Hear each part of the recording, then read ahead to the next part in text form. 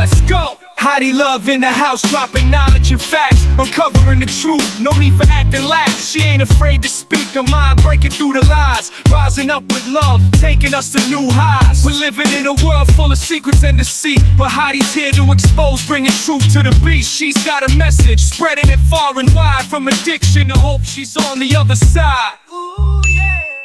Hello, everyone, and welcome to another episode of the Unfiltered Rise. And today I have some special guests with me. You guys, how have you been? It's Jacob and Jonathan. Hey, dude. We are stoked to be here. Um, you've come on our show a couple times. It's only right that we repay that. Absolutely. This is true. Bring the cult members over here for a minute, right? Absolutely. And I mean, I remember when we brought you on our show for the first time, we really didn't know too terribly much about you, but we knew from through messages, if not mistaken, your story and, and your past and all of this brought you on the show. That episode did so well. I reached out to so many Mormon friends of mine to like have them listen in on that episode. It's like, okay, is this on some real levels? Did she miss anything? Did she miss the mark? Every single one of them was like, nope, she's she's on the money, hundred percent. I was like, okay, hell yeah. So thank you for having us back on. Uh, Ah, back- absolutely. So you guys have been busy. Tell me what you guys are up to. Tell me about Well, those shows. We have been putting out a lot of shows lately. And uh, we recently, for the cult, we recently started doing a fourth episode per week. Um, and we call it Throwback Thursday. So, what we'll do is because we're almost to 500 episodes. And so, what we'll do is we'll take something from, you know, the early hundreds or the early, you know, double digits or single digits and just get real crazy with it. And, and it's our way of kind of introducing those who may be new to conspiracies while also slam dunking on the elite for all the times that we were right. Yeah, no Right. doubt. In other Right. news, uh, Jonathan has moved to Texas. Uh, I am still Oh. based in Louisiana. Um, we have now to our our business has gone uh national rather than just statewide, and uh, that's also good. And we are learning all of that as it goes. This is now Jonathan's full time job. Uh, here in the next few months, it will be my full time job. And Yay! Yeah, That is living the dream. You guys said you were living the dream. That is living the dream. oh my god, yeah. Congrats. Yes, it's great. And I also have another podcast called Meta Mysteries. We get into all of the woo woo, spiritual, crazy stuff on there, kind of doing deep dives with no lenses. Um, because one thing that I really notice is is that you know typically whenever uh, somebody who is religious and they like to do a deep dive on another kind of religion, not for everybody, but typically what you hear is, oh, that's the work of the devil. Oh, that's just the devil. That's just Satan trying to fool everybody and that can't none of that can be true flower of life no that's the devil of life and it's like i don't think that that's what they were aiming for but you Maybe know you missed the mark.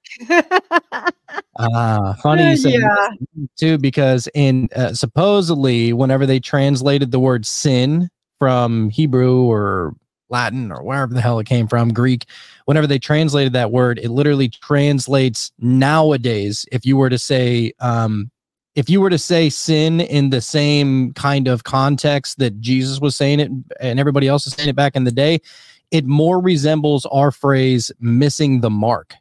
And Ah, I get down with that. That makes sense to me. mhm. Absolutely. Because Absolutely. context is everything, right? Even the occultists know this. So No doubt. And missing the mark makes sense in that realm as well. Again, life is a pass or fail event, right? There is a side of good and evil. There is a light and a dark, a yay and a nay as it goes. So either you hit your target or you miss the mark. Absolutely. makes Mhm. Well, and you guys know I'm a weirdo Christian that studies everything. I study the occult and I study Christianity. Doesn't take away from the Bible, it just adds to things. And I think there is it's all about intention, right? Any any good uh person eh, whether it be Christianity, I think they're a little less inclined to get it, but like uh, definitely in occultism, they'll tell you everything is intention. So, No doubt. Yeah, you got to got to know it all because you're going to miss something if you don't. Well, and that's the thing is that um, my co-host and I on Meta Mysteries, we've covered a lot of the occult and mysticism and magic and um, a- you know an- ancient Egyptian kind of stuff and and all that. And yeah, but as far as as far as like witchcraft and magic, for sure, it has to do with the intention. Now, I do want to clarify something. There are obviously always going to be people who take that left hand path. There's For sure. always going to be people who want more than what everybody else wants, right? Like, doesn't matter where you are, somebody always mm-hmm. wants more than the next person. And that's really where dark magic and left hand path and all of that satanic shit comes in because they mm-hmm. know that the people that are working, I say in quotes, of the light, some people might disagree with that. Um, the right hand path, you know, uh, light magic, white magic, whatever you want to call it. They know that those people will never be able to kind of rein in the powers that they're able to because they're pulling on the dark forces. I don't mess with that. I do believe in, you know, I, I'm not a uh, white magic practitioner or, you know, practicing witchcraft or anything like that. But I think that we all regularly do, we all regularly have uh, rituals, right? Like you wake up in the morning, you go brush your teeth, you go sit down on the toilet, you, you know, you look at your face or whatever. Um, you let the dogs out, you, you know, you make yourself a cup of coffee. That's all, a, that's a morning ritual. And so I think people get that a little bit uh, convoluted in a way, far different from sacrif- sacrificial rituals. You know what I mean? yeah we're yeah for sure we're not yeah no but i think knowledge is power i think that is a really valid thing whether you're i don't practice anything dark but i certainly know about dark things right?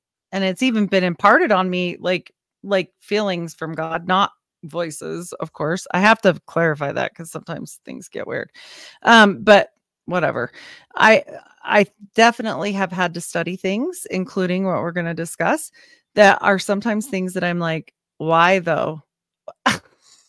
or like John Dee when I had to go deep down on that one, I'm like, uh, I don't know if I want those books, but like it made complete sense at the end. So Yeah. sometimes we don't know why. Yeah. No doubt. So yeah. in order to really understand the the powers that be you need to look at all the practices that they've practiced it only makes sense how are you going to know if you're being manipulated if you don't know the tools in which they're manipulating you with yes, a hundred percent. A hundred percent. like you said, Christians are probably a little slow to get it, right? Or at least to even acknowledge that these things are real. And I've brought this up a couple of different times and in a couple of different ways, but like just bear with me here.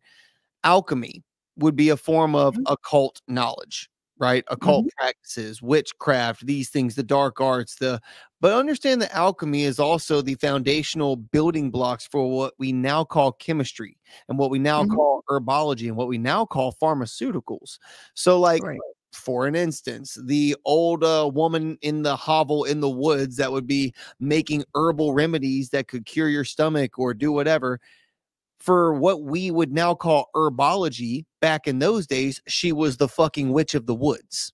Right. And like Mhm. the townsfolk were cool with her until they needed a bad guy. Then they would blame her for some kid being missing or some shit like that. And she would be burned alive. That's how that typically would go down. So in Sure. reality, was she a witch practicing the dark arts and calling upon the spirits, or was she somebody who grew up in the woods and knew which roots to mix? Maybe a little of both was happening at the same time. Maybe she really was just a, uh, a herbologist, early form. Who's to say? Mhm.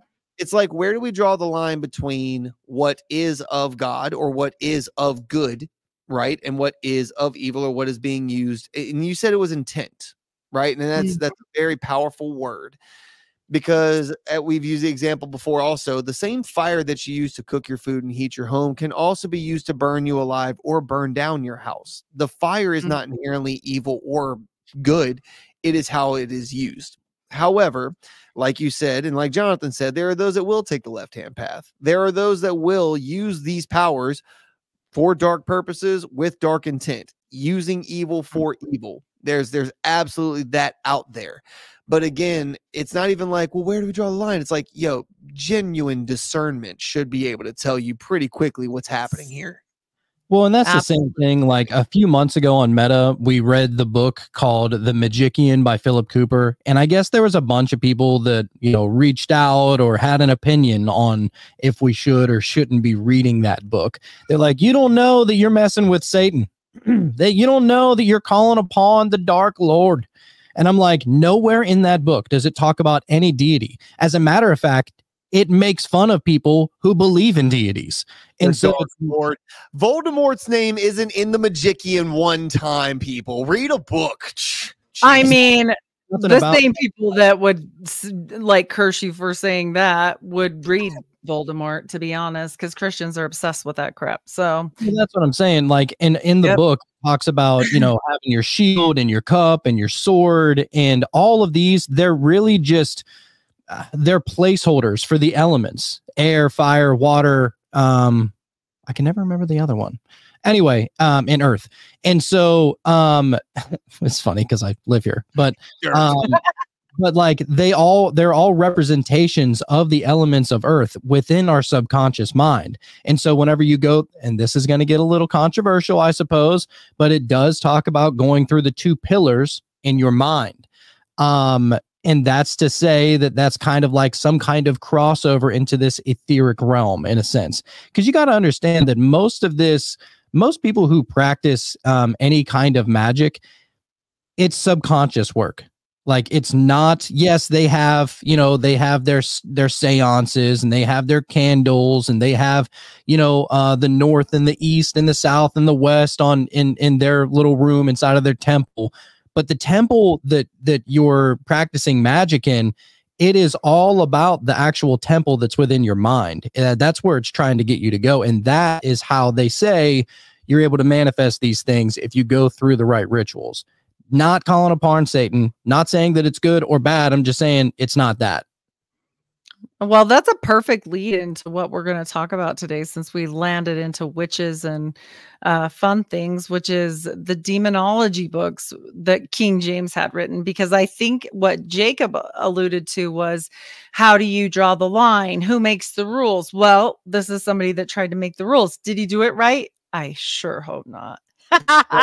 I don't know that his uh, ways that he did it were very uh, so good we actually did a part series on demonology written by King James the First of England, as a matter of fact.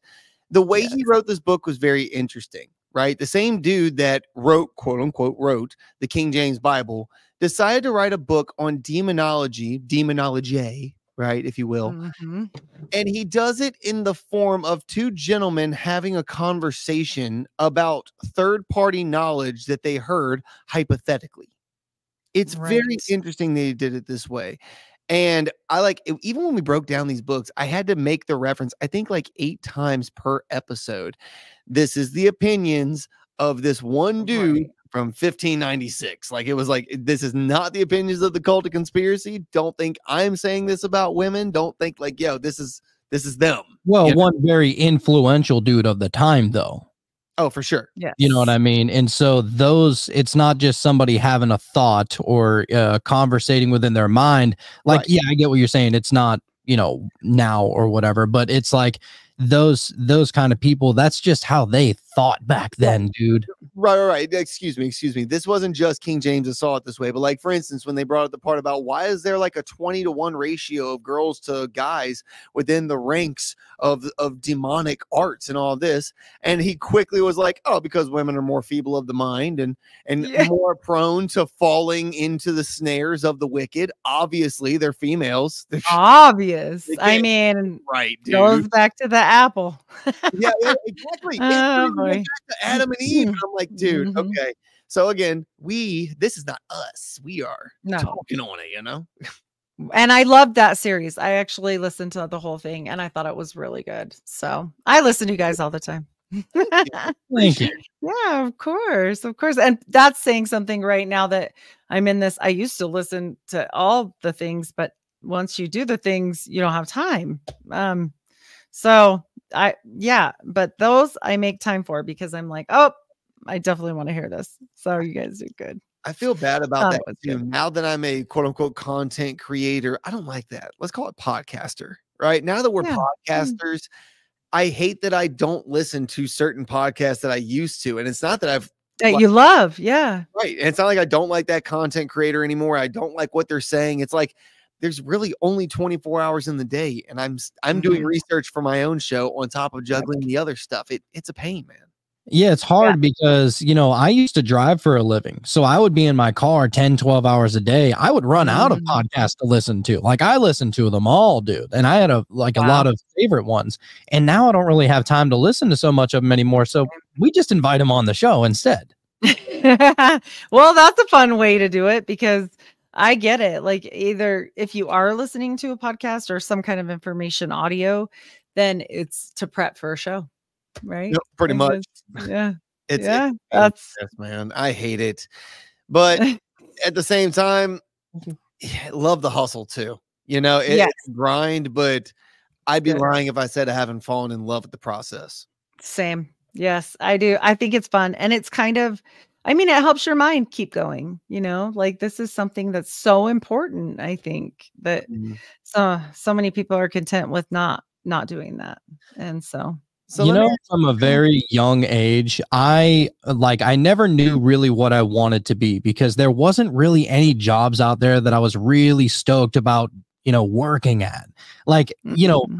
as a little kid, I wanted to be a football player, but I grew up and I never turned into NFL size football player. So that didn't work. Mhm. So after that, it was like, you know, I'm looking around and I'm working restaurant jobs or driving jobs or something like that. And and it's like then when podcasting kind of fell into our laps, it's almost like, oh wow, this is what I was waiting for all along. Like it was so magical because it gives us an outlet to do a lot of research to understand the world we live in, both the spiritual world and the physical world. And those are two of my favorite things to really study, you know, and Yeah. and also, and also question because it's it's hard enough learning the information as its own, right? But then you got to sift through what's right, what's wrong, who's telling a lie, who's who's like uh, boost, bolstering up their opinion of a certain thing in order to make it seem bigger than what it really is, and like so it's it's really become a science actually. Yep. Yep. I agree. And it's so interesting. Like when you when you really get into things, how much of it interconnects and how much of it interconnects into history, politics, and the world. Right. And you're like, oh, I got it. Okay. I get you. Yeah. And when you guys say open up your third eye, like, I mean, as a Christian, right? We're not supposed to say that, but like, whatever. But I just say, I get it. It's like, learn. Like, we're never supposed to stop learning. We aren't, Exactly. you know? Well, I mean, even Jesus's quote, if therefore thine eye be single, then your whole body should be full of light. You think he was talking about your eyeballs? no, definitely not. As the And- uh, resident Christian of our show, look, it's a catchphrase. You know what I mean? And people going to get their panties in a wad about that. Then they probably don't like our show anyway, because in the same That I boost the Bible and, and talk about the power of God and the love of Christ, I also talk about Mm-hmm. shit and fuck and all the other things too. So I mean, I am a Same. very clearly imperfect Christian, and if they don't get down with that, they probably don't get down with the show anyway. Yeah, if if they get offended by that, that's like you know, if we're if we're pushing, do you want to take the red pill or the blue pill? And they're like, they're pushing big pharma. I can't believe it. No, we're not at not all. not the right not the right thing what we're talking about right and i mean i think all of this this definitely gets skipped on because if you go ask christians like say you have a, a room full of 100 christians and you say did king james ever write a book about demons they'll say no how many people do you know that know this like like in, Most in a Probably generalized won't, right? yeah, Absolutely. they don't. And so here's my question. If the Bible is our little study guide for life, and I'm not saying that the his tactics were awful. I'm just saying that there's some information here that's good. Um, then this is also important, right? You you, agree. you have to. Yeah, like history means something and so much of it is erased in general. So I think this is pertinent, you know, whether or not you buy it, whatever, it's it's fact. It's a fact. It's So- at least it was a fact for them, right? And whether Yes. it is real or is true, people died as a result of this. So Yes. it was realistic. and it was it was it happened. Yeah, it happened. Yeah, it's real. So I'll So- say this as far as what he the information gathered from these witch trials. Okay. Mhm. Historically speaking, truth of the matter speaking, let's break this all the way down. When he brought up those that deal in lot, he was talking about those that cast bones and runes. He's talking about those that play with tarot cards. He's talking about those that deal with anything where there's an element to chance involved and you're looking to it for answers, a fortune telling of some type, whatever. He Mhm. also brought up the fact that people that wore talismans or totems, I think was the word that he brought up, or tokens, made by somebody who they may not have known was making it with witchcraft. They just thought it was a cool little medallion and they wear it around their neck. Are they in in uh are they in guilt? Right? Are they guilty of, of committing a crime against God or whatever, whatever? They broke it down on some very random examples, but it was what they thought was important at this time they make mention of those that deal with potions and powders and things like that. And they even gave the distinction that some of these people are in that gray area of quote unquote magic, right? It's like Mhm.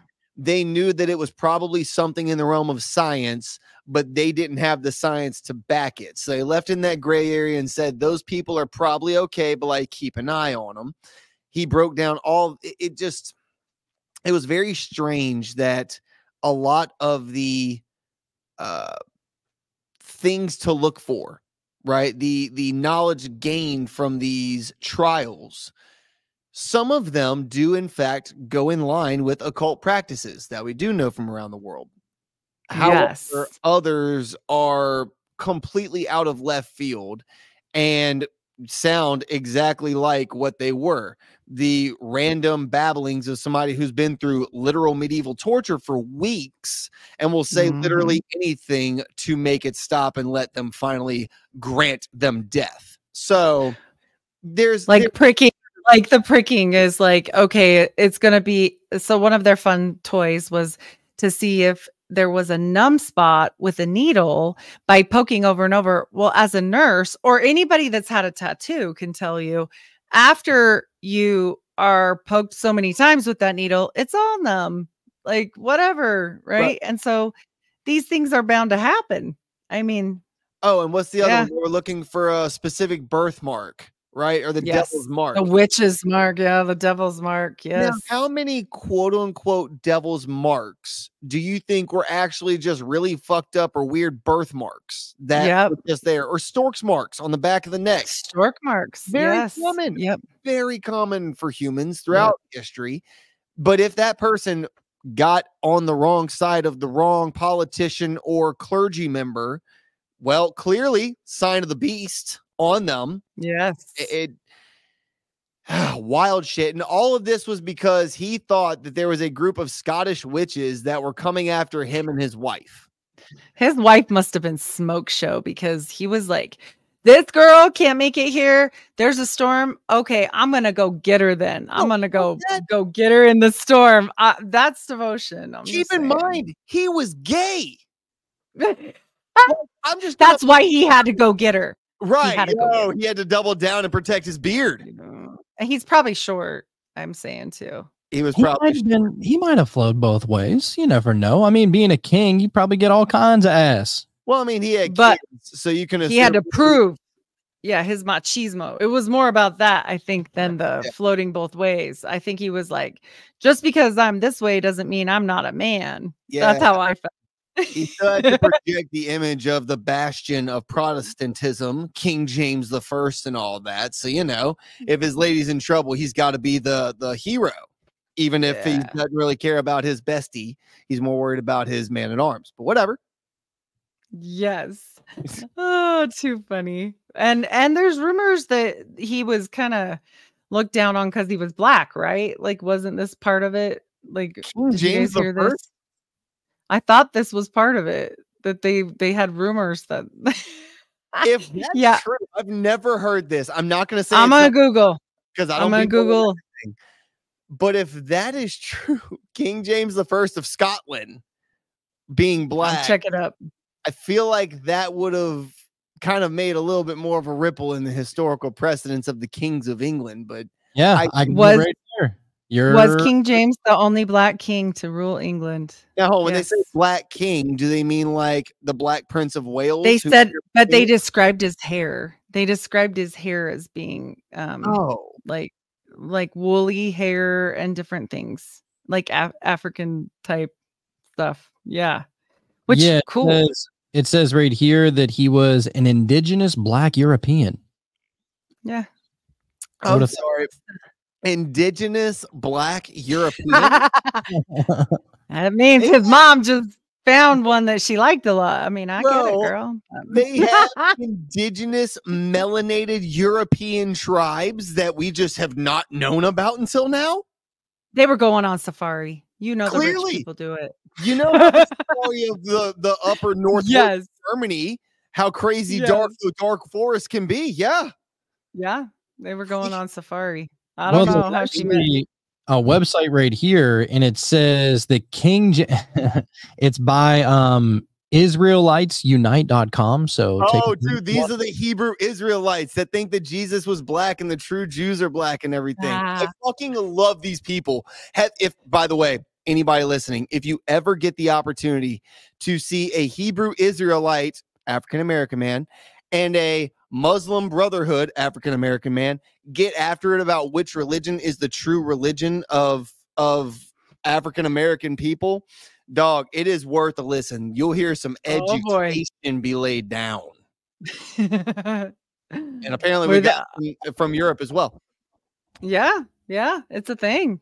I don't I hmm. don't know exactly how that happened with parentage because I didn't look that far, but I did I did notice that and I thought, oh, well, he had something to prove. Yeah, Fuck he yeah. he he had something to prove. He wanted to be like, so yeah, makes sense. I wonder mean, if my that's thing is- is word that- came from would be from the the nobility that had to explain one of their darker complected uh Popped out of nowhere. Yeah. So whenever Well, you look at the demonology book, right? Like in any way, I mean, I might just be the odd, the odd duckling in this situation. But honestly, whenever I see a book like that, and then you know, we do research on it, we make a couple of episodes about it, we get real familiar with it. It's like this is the guy that like was in charge of making the King James Bible. I mean, I know he wasn't the only one, but he's mm-hmm. the one who ordered it, right?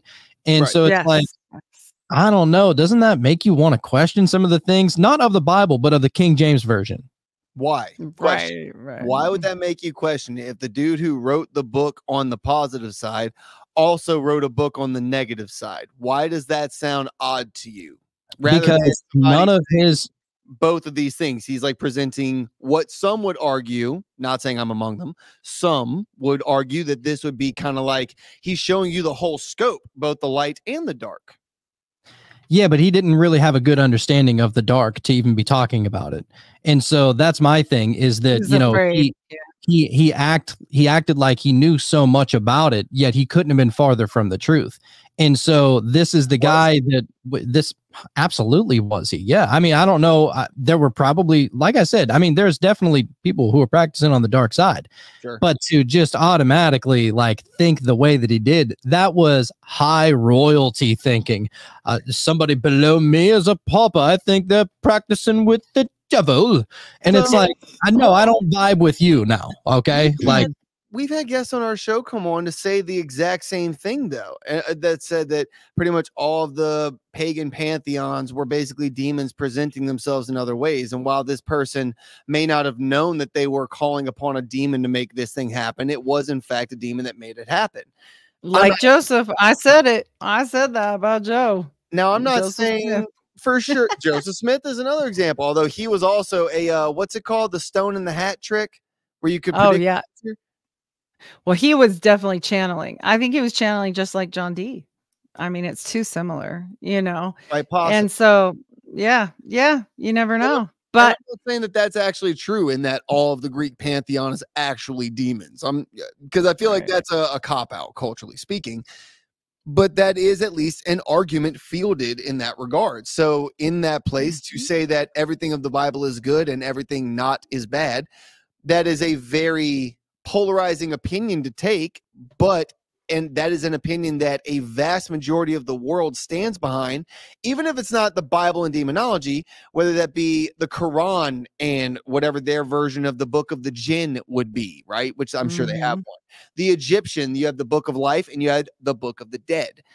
Mhm. Everybody's got this to varying degrees, correct? Yes. Yep.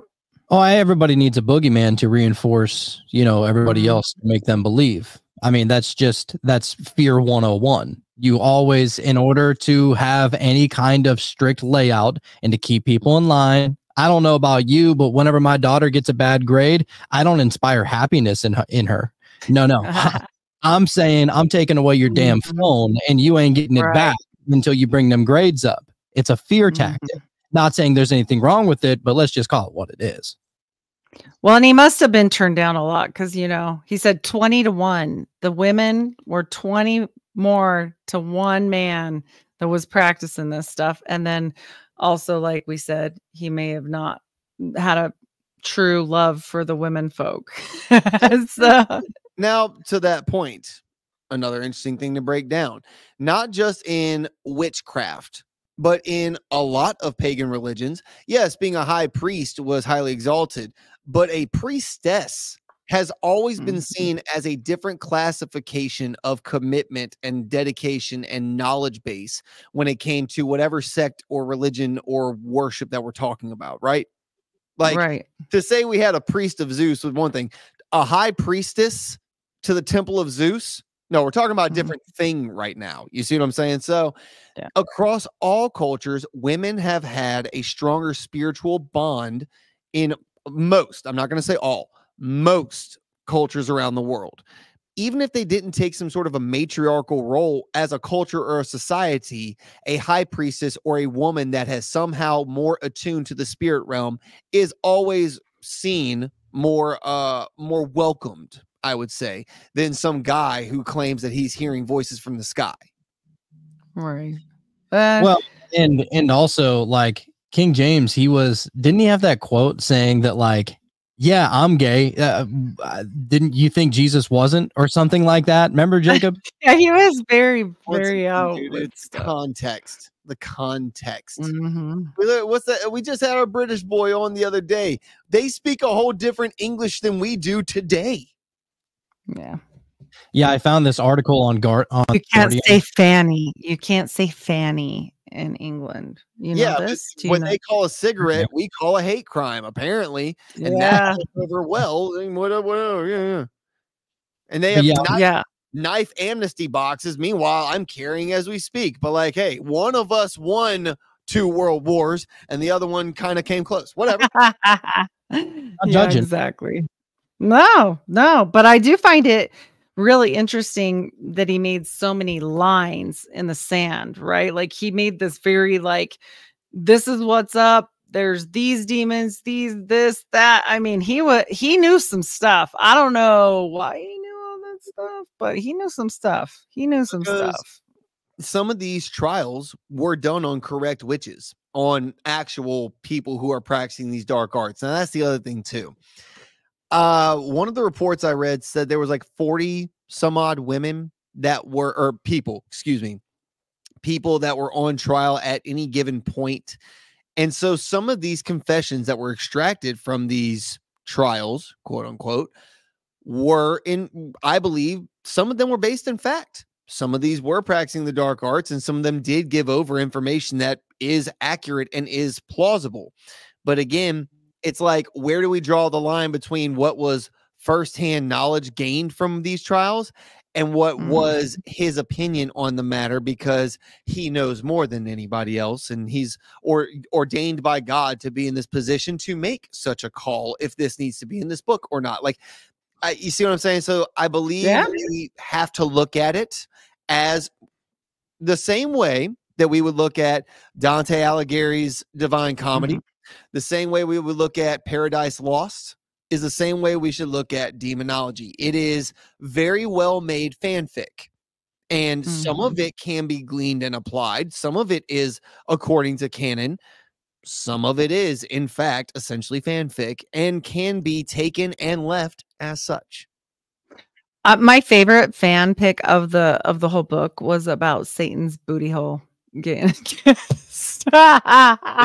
This was some uh craziness. I was like, what? Bro, straight up was like they they be fucking. They they Satan the- calls to them and they just come and just it's a whole thing. And I'm like, well, okay. All right. Even in jail, like in their prison cells, like he's just gonna pop on up in there in the cell and just be like, I want that ass. Oh, and like yeah. it's like that, dude. Can other people see it? And it's like, uh, we don't know. Cut to next chapter. Like, wow. Wow. Well, and the description of it being a very cold, mu- muscular, hard buttocks. That was like, Uh, like, uh. like a rock hard booty. He'd Yeah. be doing the squats. Apparently, His- apparently but our his- does not miss leg day. Ah, but his vagine hang like sleeve of wizard. Yeah, exactly. Yes. That one was uh, quite the interesting. So that was one of the things like he said that they commune together and uh, had their little seances and then Okay. they kiss kiss the booty. Another example of that, right? Talking about how they commune. How do they Did he? from place? Yeah. Did he? no doubt. Did he be Diddler. Sorry. But uh all right, so how do they get there? Do they fly there? Do they evaporate there? Whatever.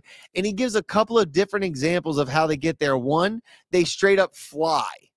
Like just through the air, and then somehow broomsticks came into the picture somewhere around the 1500s. And we actually showed a picture of the first actual depiction of a quote unquote witch riding a broom. It was uh, from like a manuscript from the 14, 1500s, somewhere in there. But either that was how they're doing it, A, B, you know, they were just traveling in secret, just staying off the beaten path, or C, astral projection makes its appearance Mm. oh so nonchalantly, 1596 or whatever the fuck. It was like, wait, I'm sorry. What? Which is funny whenever you talk about like witches flying on broomsticks, because really where that originates from is that, you know, it was a fact that like, you know, most women back in the day, they they uh they took care of the kitchen and they were always cleaning and sweeping and cooking and all those things. And so a woman would always have a broomstick in their hand, right? And that's that's Mhm. like the the cartoon image of a woman back in the day is a woman Right. with a broomstick in her hand with a fucking baby in the other arm, right? And it's like Mhm. um but really the whole idea around witches flying on broomsticks really came from uh they used to use this stuff called flying ointment and that flying ointment it said now you would you know maybe you would apply it to your skin maybe you would take it orally a lot of them would shove it where the sun don't shine and Mhm. um and it would cause them to hallucinate or fly Yeah. Key string. Key the beginning. well, that we know. Fly, They were- Yeah. they would be believing they were flying around on broomsticks. they were boofing Mhm. flying flying ointment bro Hell yeah. I, I'm telling you, uh, and and so you're reading this all going, really? This is the same dude that the Bible came from, where um key string and booty kissing. To be fair, Okay, the Bible didn't come from him, the English translation. right, Right. right, putting it together.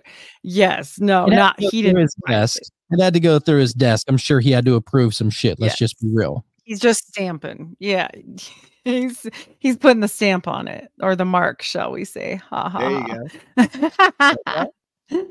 oh boy. Yeah, what, what what was your favorite part of this uh crazy little book, Jonathan?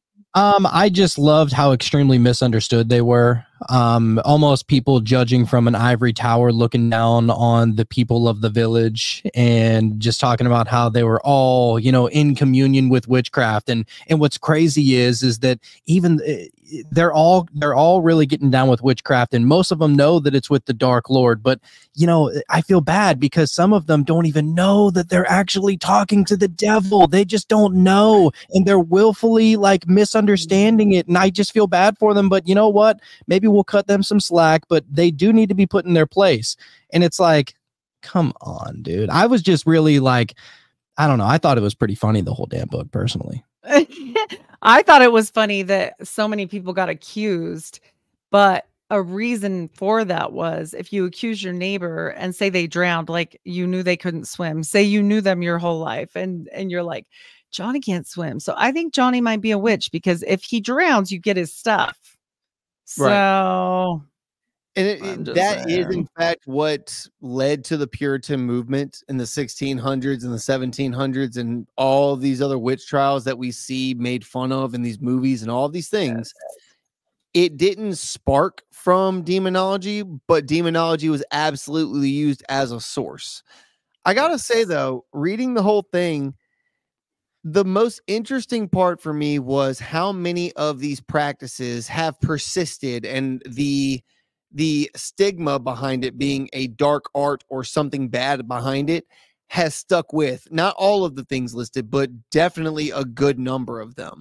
Um certain things that even growing anybody that grew up in the bible belt whose mom rant and raved about their school having harry potter will know the random little things that i'm talking about and it's like a list of Mhm. a hundred things that were off top you couldn't list.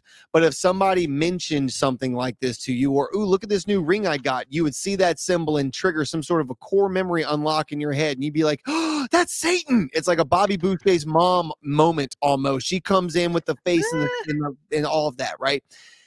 It what's crazy is those things that these we grew up like looking to and recognizing as like this is a symbol for that that's a sign for that. That's just Satan and camouflage. Mm-hmm. da, da, da.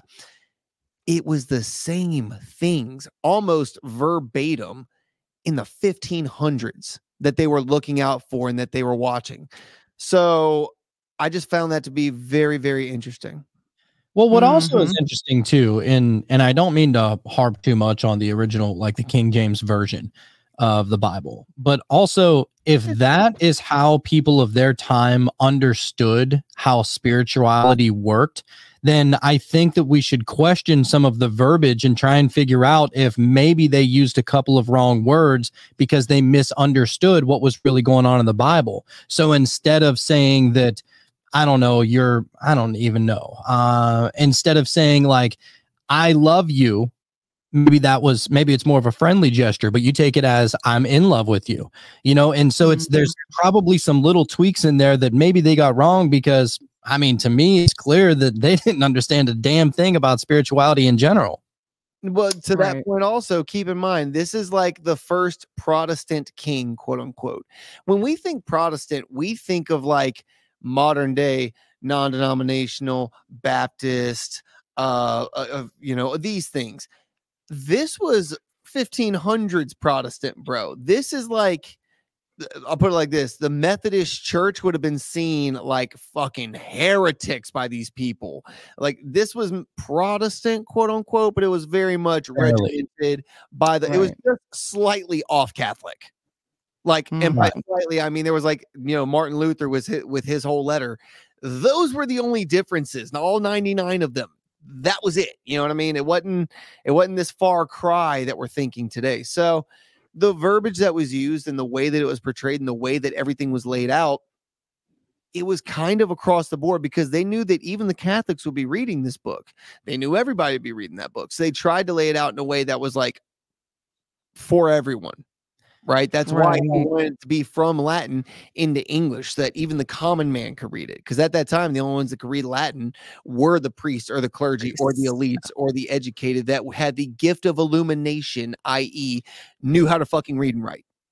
Well, and I think it's funny that he um gave a, a split across about witchcraft, but then was like fairies, that's not real.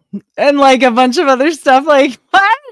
He's just like, meh, none of that. But That's, then that's he went silly. into a whole thing about how the Fey folk and these Mm. brownies and these elves and all of this, it's actually just demons. I'm like, okay. So you say all Fey folk are fake. That's not real. But brownies, aka leprechauns, totally real, totally demons. Like, but whoa, what? It, it- like that. That's the kind of shit where it's like, all right, you got a couple of things, quote unquote, right, that like these like thought processes still persist today. And then we hear some shit like this. That's the same as like a priest going on today and being like, these are the ways. And by the way, the fucking Smurfs. We got to watch out for these little bastards. Wait, bro, what are you talking about right now?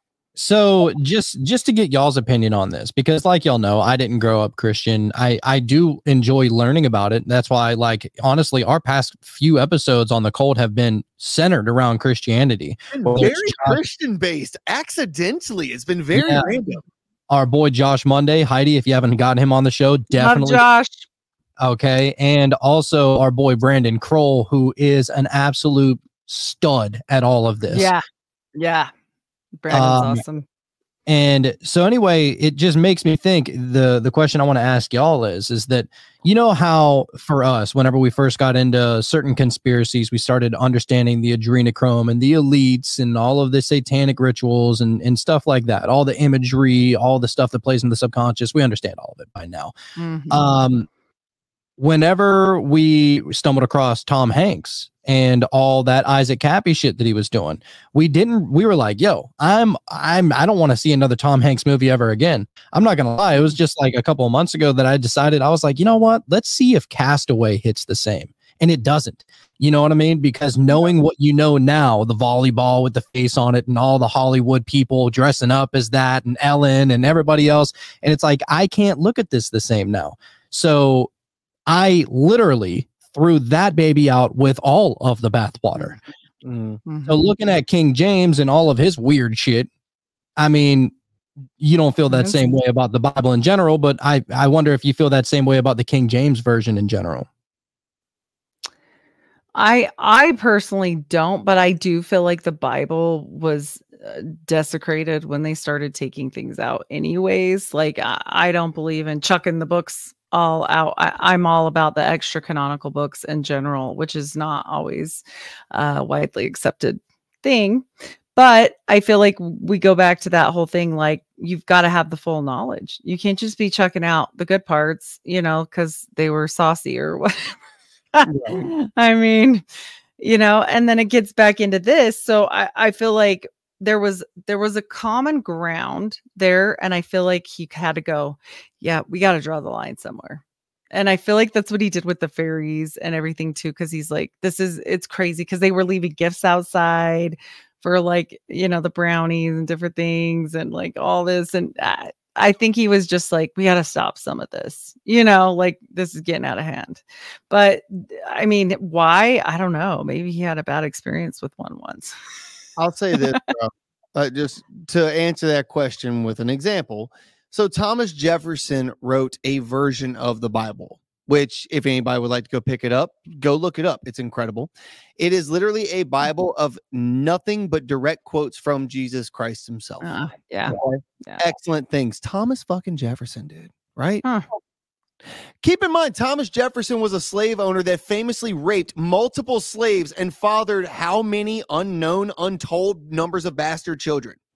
Now, Mhm. now, now, now, am I going to throw out all of the baby with the bathwater on that? No. The words within Thomas Jefferson's Bible that he may have wrote aren't his words.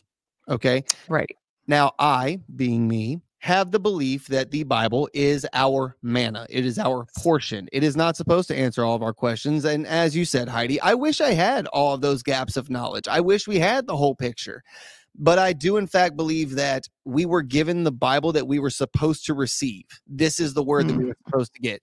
I am not saying that other books and other literature are not important and shouldn't be studied. Same way I said about the fan fiction of Dante's Inferno, Paradise Lost.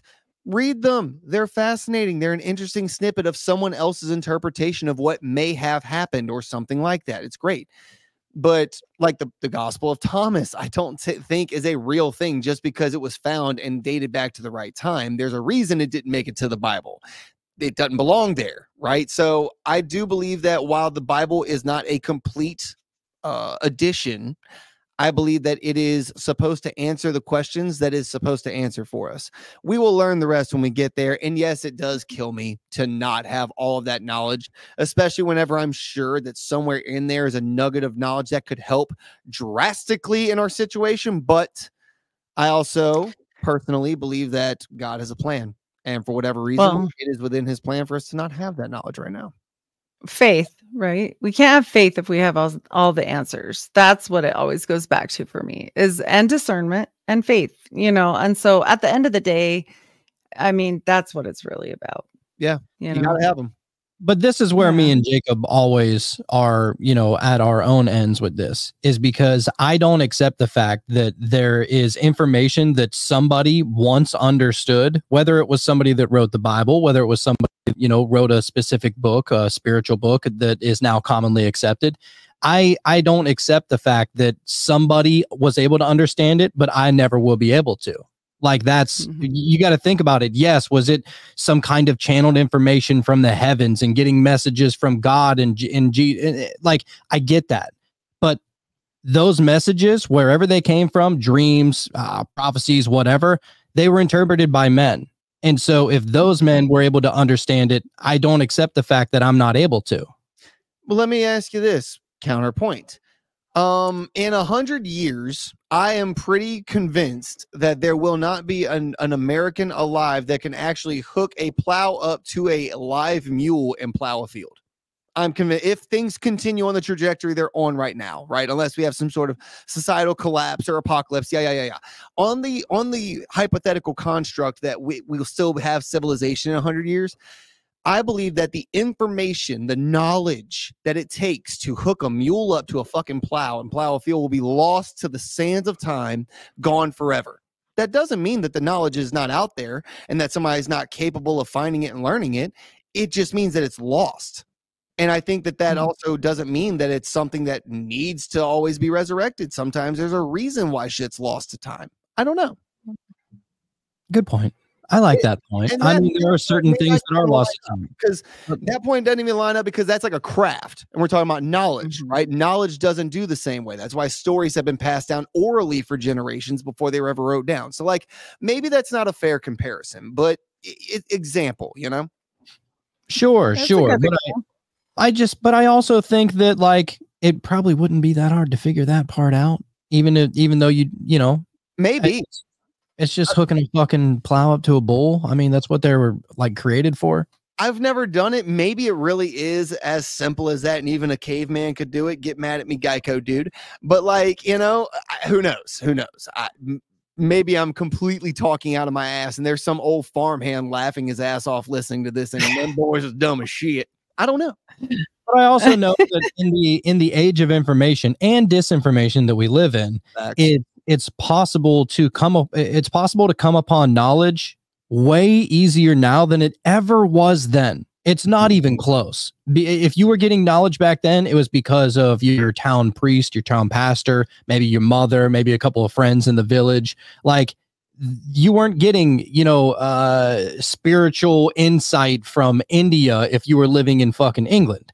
And it's like nowadays we have access to it yes are there some, some there's some definitely some shysters out there. Don't get me wrong, Sadhguru calling you out, homeboy.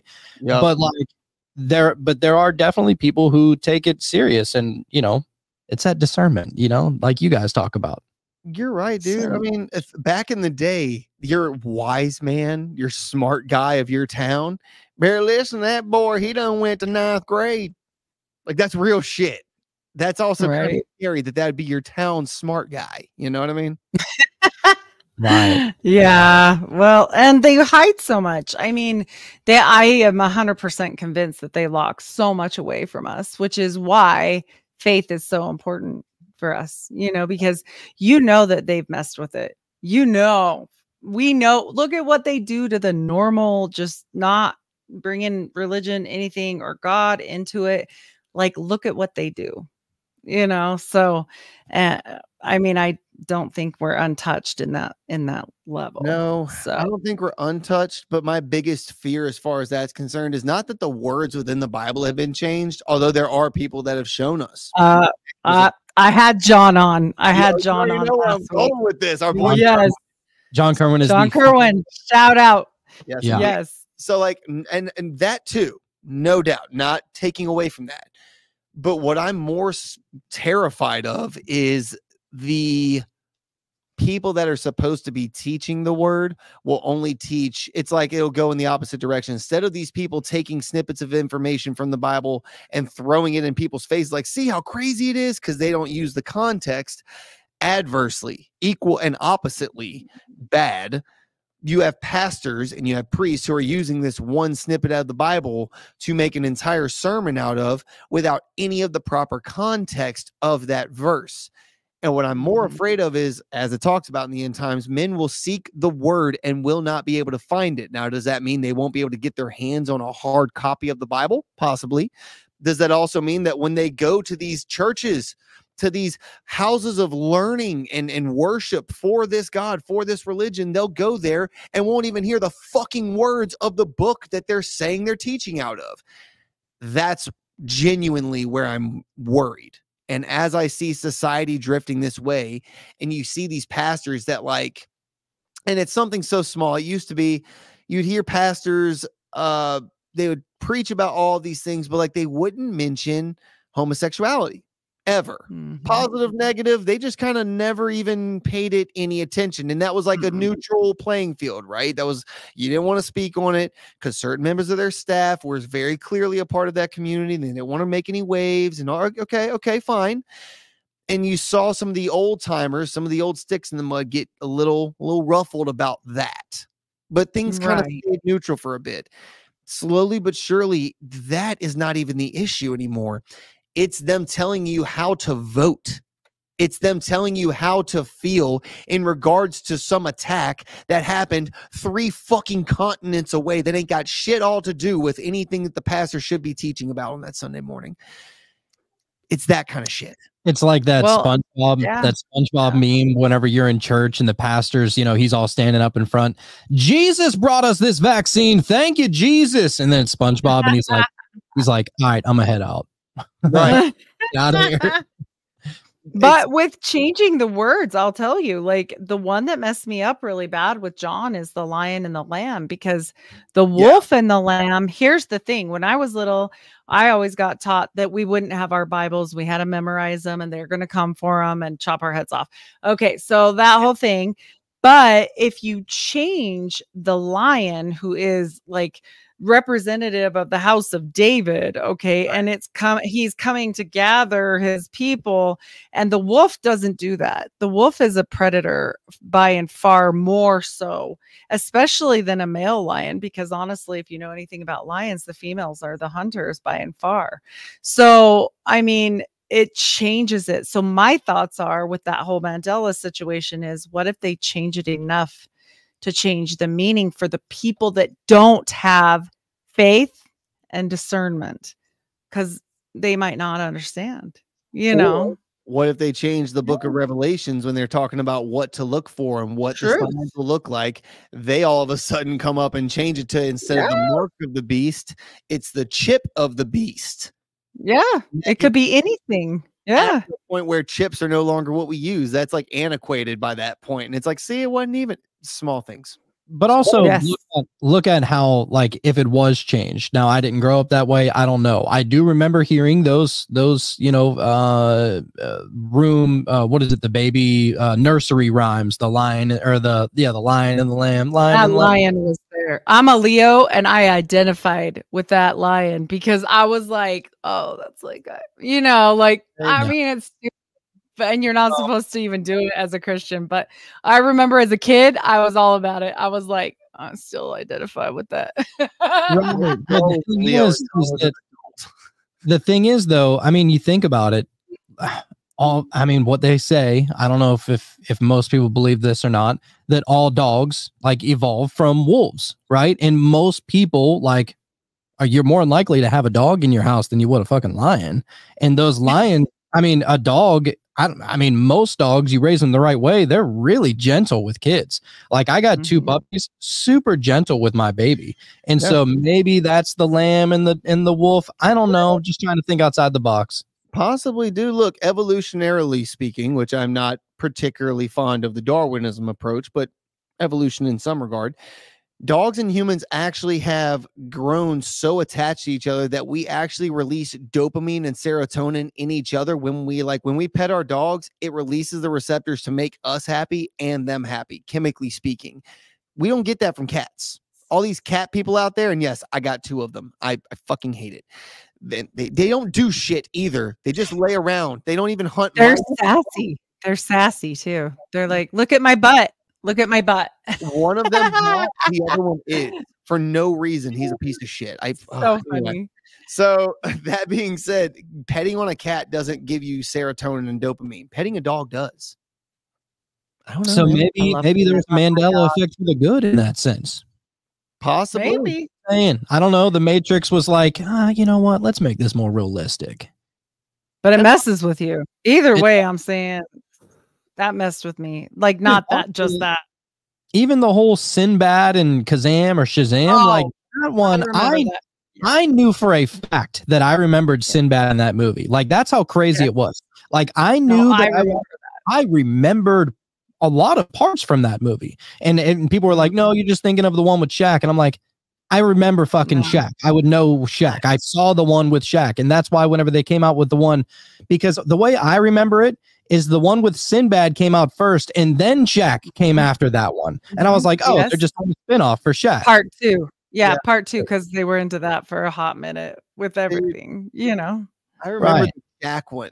I don't remember Sinbad's movie whatsoever. And the only reason I remember the Shaq one specifically is because it was A, horrible, and B, it was like they missed the mark on the timestamp. Because like they were at the very end, he mm. had to use his final wish and he got this golden like fucking cassette tape that was going to mm-hmm. save the day because it had the track on it that these people needed or he was going to get the shit beat out of him, whatever a cassette tape in an old school boombox. Like, yo, CDs were a thing.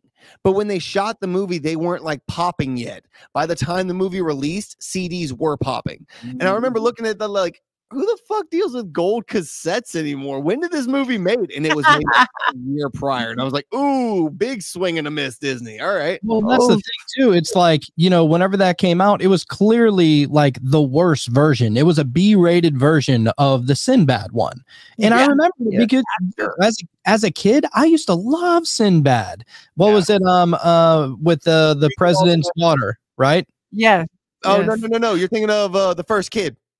Oh, yeah, the first kid. Yeah. Yeah, but you don't mix them up. They look and are totally different. I mean, like we're talking about Shaq. He's not he's not somebody that you confuse with many other people. Like He's that's seven foot a tall. He's giant. a fucking Nephilim. We're not confusing that with Sinbad. Not to Yes. mention, I've never heard someone mistake Sinbad for anyone else either. He has a very No. distinct look and name that goes with him. No one else does it like Sinbad. You know what I mean? That's kind of a thing. Yep. I mean, Yeah. maybe like the funky Cold Medina. That's you know, we'll go there. What was his name? Uh, Tone Loc. Tone Tone Loc. Loc. Yeah, you Loc. might be able to switch him back and forth. I don't know. Maybe that's racist, but um, Oh my god. I forgot. I, I am Oh. laughing about the song Funky Cold Medina because I forgot about it. Then we dropping those. Love it. All right. Fuck yeah, man. Ah! Full set. Old school hip hop is all day long for me until Uh, the kids started singing it, right? Then you're like, oh, I got to turn that off. Oh my gosh. just kind of know. My 11 year old has decided he wants to hear some OG rap. So, like, all right, I go on the Sirius XM, I go to this stuff, and I'm playing old Snoop and old Dre. And, like, yeah, some of those songs we can't play for obvious reasons, but like, I like the, the fact that my song knows about Nate Dogg and Warren G speaking about the Mhm. regulators. That's a good thing that my 11 year old in 2024 knows what to do, you know? Oh, until wait, I Diddy realized- ruined it for everyone. I just realized I'm not thinking of Tone Loc. I'm thinking of Ice T. I got those two confused, but you could You're see the resemblance a little bit. Hold on. Ice T and Sinbad? I'm just saying, same complexion, you know, same like super cool dudes. I don't know. I could never confuse the two. I'm sorry. I, there's But no- in general, Sinbad is his own. Like, I don't think I would confuse it in general. Like, that was no. It, and there were a lot of things like the judge not lest ye be judged never existed. What? Mhm. What? Yeah. Yeah, where does that Like- come from then? I mean, no, I don't, it- it was in it. It was it in there. not, and it says, "For judgment is mine," so saith the Lord. But it's like Ah. paraphrase that, and it sounds about right, and then that just kind of gets ran, and then ran back, and then Here's one that time. It's like that did not get changed and ran back. Forgive us our trespasses. I went to Catholic school, as weird as that is for a Mormon. They had some advanced dumb program. My mom stuck me in there, and I had to learn the Father's Prayer. And it was like we went to Mass on Fridays. It, no mistake. I still know Hail Marys, and I have no reason for them, but the, it's in there. It's all in there. And I, I know for a fact, and that does change the words ag- again, change the meaning on that one because that's a sin. A trespass is a sin or can be, whereas a debt is not really the same mm. thing, you It is know? It is That not. didn't make I sense think- at all. I remember Mm-mm. forgive us our trespasses. And Yes. I'm gonna have to pay attention when I go on my retreat this year and we do the prayers at the mass and whatever. But the last time I remember was it was still trespasses, at least in Louisiana. Now maybe these archdioceses haven't gotten the memo to change things up yet. But I do know that there have been slight changes to like the prayers that are done at mass and the order of precedence and the uh what is the one Oh shit! It's the one that they do. It's a big, long recited prayer. Um, The Hail Mary one? yeah, no, No. during mass. It's um. Hold on. Oh, oh, I know what you're talking about. Crucified, suffered, and buried. On the third day, rose again in fulfillment of the scriptures. He ascended into heaven and is seated at the right hand of the Father. He will come again to judge Mhm. the dead, and his kingdom will have no end. We believe in one holy apostolic church. Th- That long prayer. That's like an Yes. entire Yes. mantra that the whole church does. I used Yes. to know that by heart because I went through catechism so I was like 14. They have changed like half of that. They've made certain parts shorter and they've made other parts longer, and then they've added other shit. And I'm like, I thought Catholics are all about keeping it as traditional as possible, Right. for like you know Rome and shit. Y'all be changing it. Well, it's the cardinals and the popes and all that shit, and all the saints coming up with their own sayings and all that stuff. That's what I'm saying, dude. These guys, they're about tradition. They're about in keeping with the old ways of the of the original church and the original and everything's got to be a certain like it's very crazy to see these people who did not change a fucking thing Mm. until uh what was it uh in the 1950s um council of nicaea 2 Yes. or uh no the vatican ii excuse me the vatican ii the big meeting where they decided what the future of the catholic church looked like there was hundreds of years where they didn't change a thing.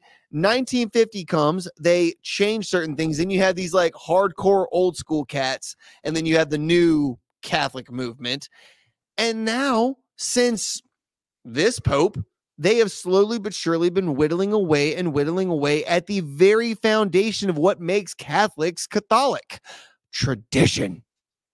Mhm. Interesting though that all that didn't really um they got together in 1950 for that whenever Roswell was literally right before that. That's what I was gonna say. I was gonna say the same thing. I was gonna say because the aliens came. like hold up, hold up. If there's aliens, it might debunk our whole story. Let's try and let's try and get ahead of this thing.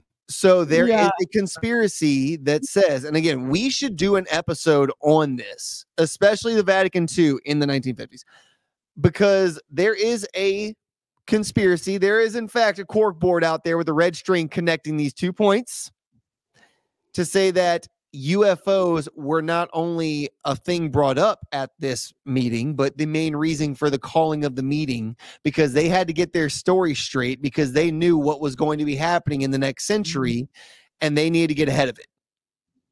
Now, I don't know. were pre-gaming. Hmm. I mean, dude, Roswell was 1947, bro. You're talking about three years later, y'all get together. It's it's weird Mhm. timing. It's weird timing. oh yeah. Just You know, I wonder how come this book, these books, as much as the King James version took off of the Bible, how come this didn't go anywhere? Right? Like this is weird to me because you hear about the lesser keys of Solomon, you hear about like I mean they used demons to build the temple. They they did all this stuff, but yet this just died like a So, slow death. The lesser and greater keys of Solomon have been used by the occult, right, as the basis Right. for their sacred geometry. Demonology isn't an actual source of like how to do anything. Although in the beginning, No. in the uh, preface of the book, he does say to go to like the fourth book of Cornelius Agrippa, and he, he does mention where to find these practitioners and their works. Demonology kind of got relegated and put on the back burner and kind of lost and forgotten about in a lot of regards because it's not a source. And there's also way better books out there, even if you're not looking on how to practice this. What is that one? The Max Grimoire? Uh, basically the demonic Bible, if I'm not mistaken. Uh, it's the Yeah. first one that actually has a depiction of a demon being a horned creature with a little tail or something, because that image didn't exist prior to the Middle Ages that book, if you're looking for a real source of what a demon is supposed to look like, smell like, what to do, how to do, whatever, that is way more of a good first source than King James's extractions from torture sessions combined into a conversation of two guys at a pub. You know what I mean? But putting the clout behind it right? Like okay why why like granted there was a book before this too that was way more i can't remember the name way more inclusive all about witchcraft right? There was uh, I, it escapes me at the moment but you know they still took this and he made it so important where he's such an important person and the bible took off in that realm like it makes you wonder that they would at least maybe say and this is like a sidestep you know not that it should be a bible by any means but just that Right. like yeah it would one would take off You peaked literally at the Bible, bro. You don't need that, that Right. next run. This isn't the beginning of your new literary career. You just, just let it let it end at the you know quit it at the top. right the book of torture didn't go over well but Shocker. And and and demons at night raping people and everybody's doing bad things all the time like uh, other than that i mean but at the end of it all you have to you have to take it all right? You have to say okay well what's he trying to go at here? What does this mean?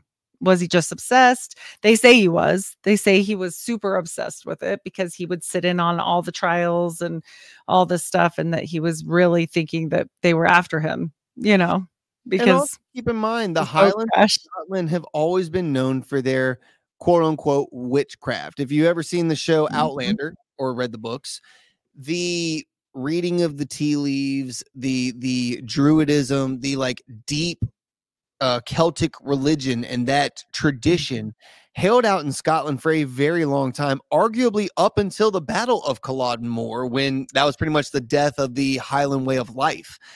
So up until the 1700s, even so well during the time when this book was being written, you still had arguably true Druidism being practiced all around King James in Mhm. his country, King James of Scotland, as he is supposed to be the bastion of Protestantism. So when you hear him bring up the fact that fairies are fake, but brownies are real, it's like you can see that tinge of like, all right, we're clearly having a little bit of some hatred towards some Scottish, uh, homeward grown fables here. Okay, I'm with you. I see this. That that witch book that you were talking about, Hammer of the Witches, is that what you're referring to? Yeah, dude. I th- I think so. I think it was the one. It was be it was published before. I think it was like 1595 or something like that. Yeah, but 14, yes. 14 is the most dangerous book ever written, or one of the top five most dangerous books ever written. Yeah, it says here um in 1485, and it was called Malleus Maleficarum, or that translated yes. to Hammer of the Witches.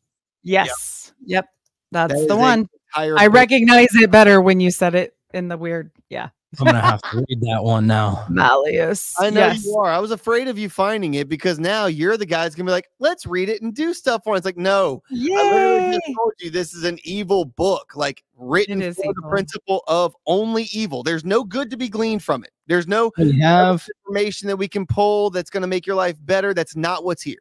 If we They have said any, it was really evil. Yeah. if we have any meta mystery listeners, know that the Hammer of the Witches is coming near you soon. Okay. He's giving you I mean, what are you gonna do? You know, you, you, just, you gotta love them. Sometimes you want to slap, but you, you just, you just gotta love them. Hey, let me be that follow little you kid. home. Let me be that little kid and put my hand on the stove, bro. I gotta I gotta know what it's like to get burned. You can I can't take it on faith. I'm going to get the fucking silver lotion over here because I know it's about to happen. But go ahead, put your hand Get the back. aloe Yeah. vera ready for me, sir. You Yeah. better you better call the exorcist. But actually King James says that that can't help you. Only fasting and prayer of your own. So, Another That's- thing, that's believable for sure. exorcisms are spoken of in the Bible, yet he's saying it's not real because the Catholics claimed that they could do it. Therefore, it can't be real. That's a Catholic thing. Like, Yeah. bro, bro, what? Heidi, what's your view on on people who need exercise like that? Do you like what do you think is actually going on with that? Do you believe that literally uh, a demonic thing is getting inside of people? Literally, I mean.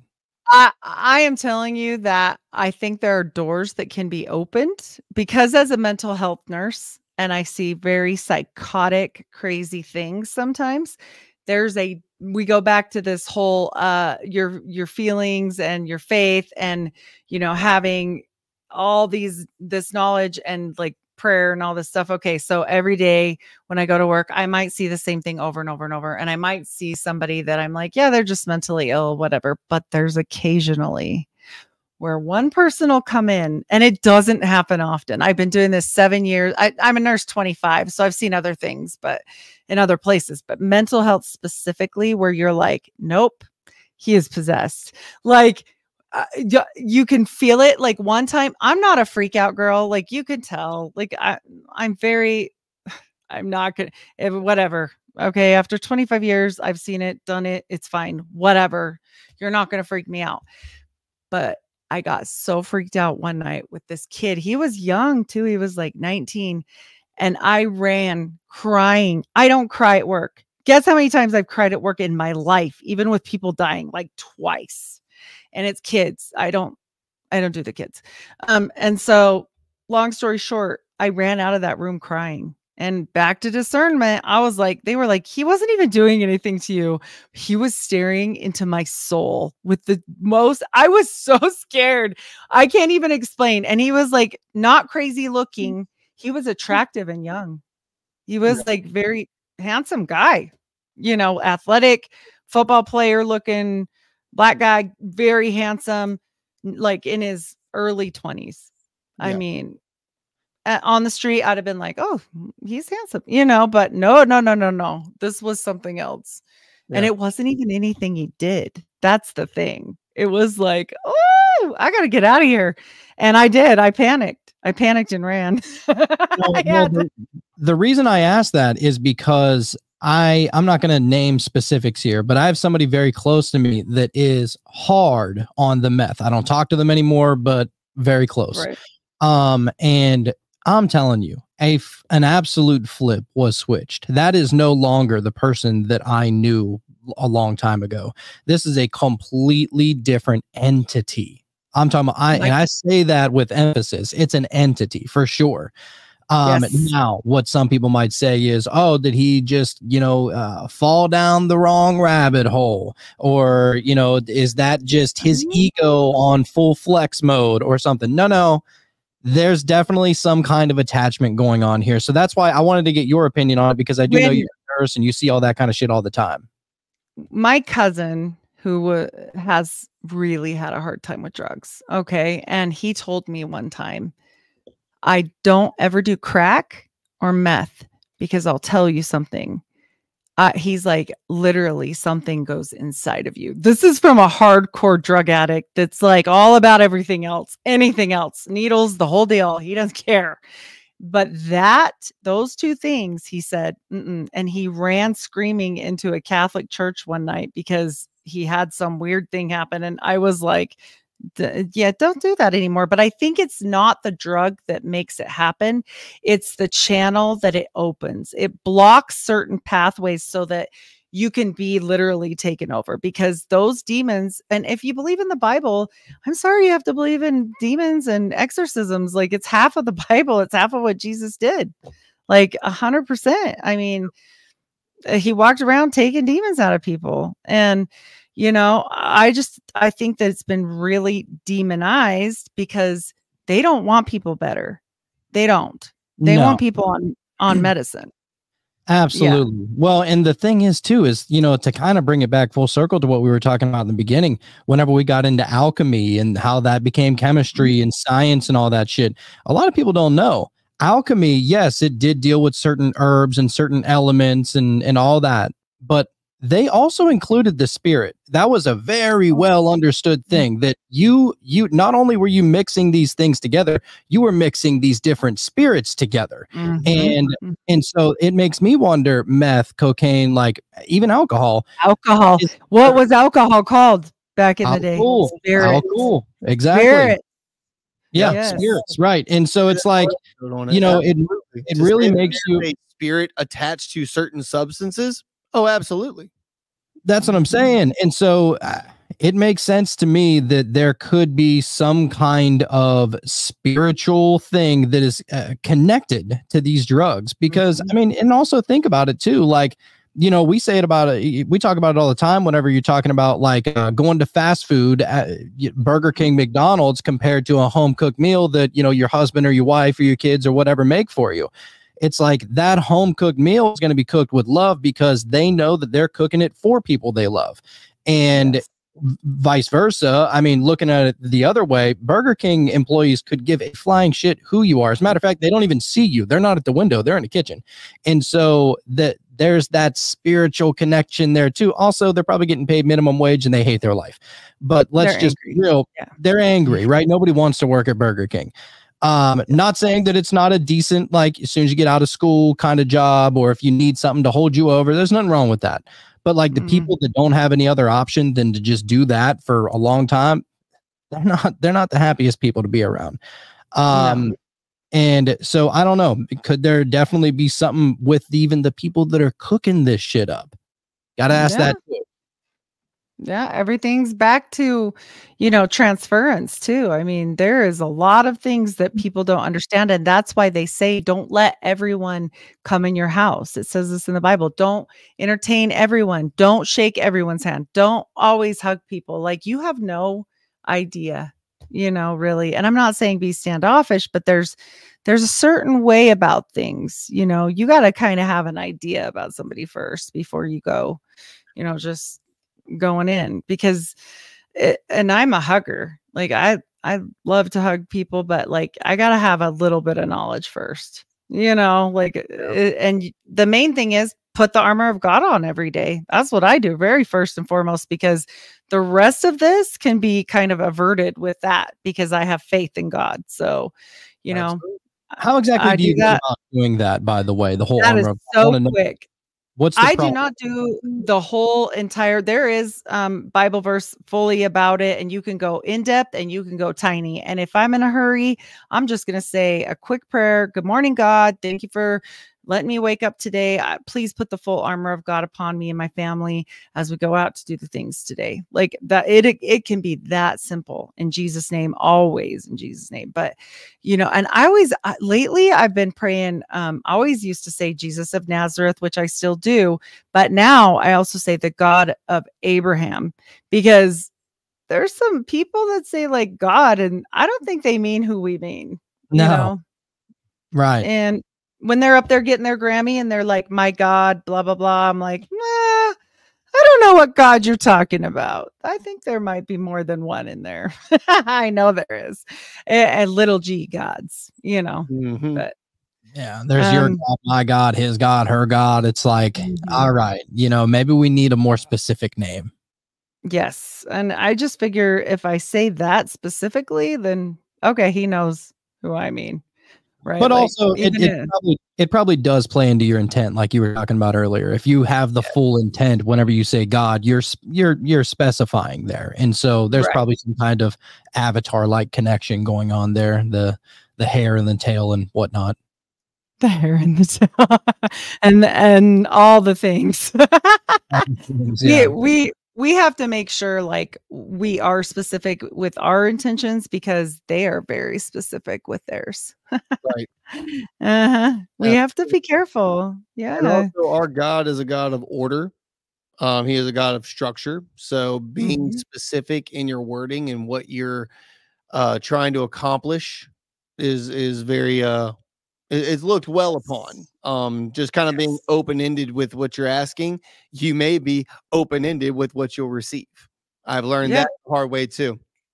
Yeah, you got to be specific. It's all about like they say it's kind of like court, you know. There's rules. There's rules on all these things and so I think, you know, the more you find out, the more you understand that. And and it's a good thing. And and if you don't know, is it held against you? No, cuz you didn't know. Right. Like, God still, knows your heart, but as for me, I'm very specific. Probably a good practice. well, yeah. Do you guys you guys are headed, right? You got another one coming up or you guys got another show coming up here in like 10 minutes, but um, Okay. Yeah. I figured I'd let you plug one more time because I didn't want to cut it cut it short to the end. I want to give you guys the full opportunity. I appreciate you guys so much. I know we scratched the surface, but we knew we were going to do that anyways because this is supposed to kind of make you uh, think about this whole situation. They have a three part series about it. It's really good. You guys can bump into that and check that out. And where else can they find you guys? Well, first off, Heidi, you know, you got us just about any time you ask us. We love you. We love these conversations, whether it's on the cult of conspiracy or if it's on the unfiltered rise. Doesn't matter. As long as we're all together, it's always a good time.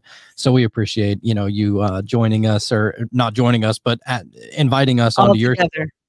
Um, Yes. but that being said, yeah, the Cult of Conspiracy podcast, it's on all podcast platforms everywhere. We have an Instagram um, uh, at Cult of Conspiracy podcast, Twitter, the same thing, um, TikTok as well. And so, yeah, anybody wants to go check us out on any of the social media platforms, we try and keep up with it as often as possible. Um, we also have, for anybody that's interested in seeing the video, because we got kicked off of YouTube so many times and won't even allow me to create another address to to make another one. Um, so uh, if you ever want to see video and don't want to listen to the commercials or anything like that, we have a Patreon. It's patreon.com slash cult of conspiracy podcast. Or if you're somebody who regularly listens to Rokfin, maybe you're there for somebody else. Rokfin is great because it has everybody for one price. And so um, we're also on Rokfin over there, Cult of Conspiracy podcast as well. And I think that's it.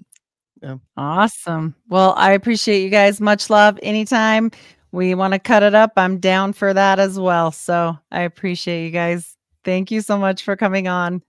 Have a good night. Thank you. Have a good one. Bye. Bye.